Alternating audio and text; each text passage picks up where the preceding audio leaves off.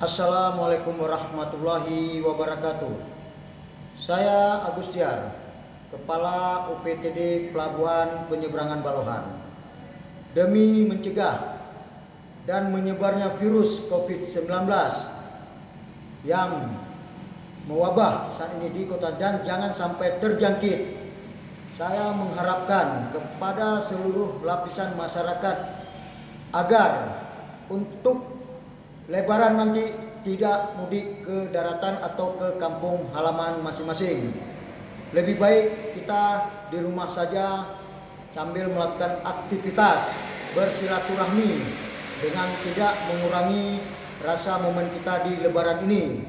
Mari kita cegah, mari kita bendung, mari kita lawan virus corona.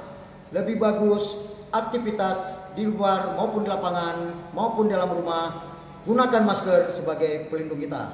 Demikian himbauan kami, harapan kami. Lebih dan kurang mohon maaf. Terima kasih. Assalamualaikum warahmatullahi wabarakatuh.